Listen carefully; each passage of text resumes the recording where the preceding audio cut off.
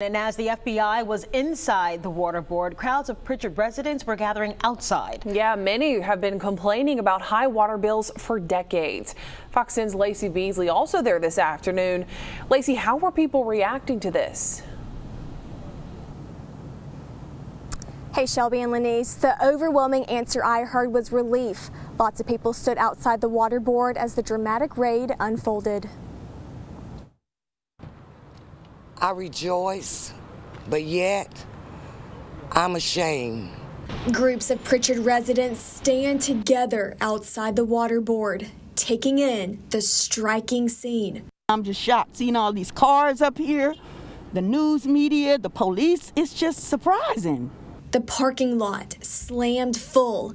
Deputies posted outside the front doors. Longtime residents say they have eagerly awaited this day, finally seeing something happening after decades of complaints. It's time.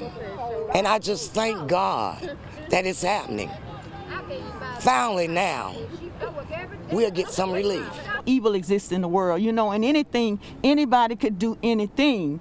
But I'm praying that God would let this everything come out all right. Another woman, not wanting to go on camera, agrees.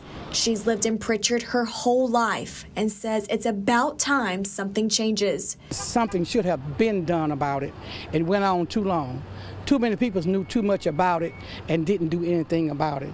And as federal agents walked into the building, you can hear people cheering. Thank you. Thank you. So I would say shame on you, board, and I want to see them all, all of them gone. For my mother, grandmother, aunts, and myself. It's long overdue. And everyone I talked to today say their water bills have been sky high, and they hope today's raid will help remedy that.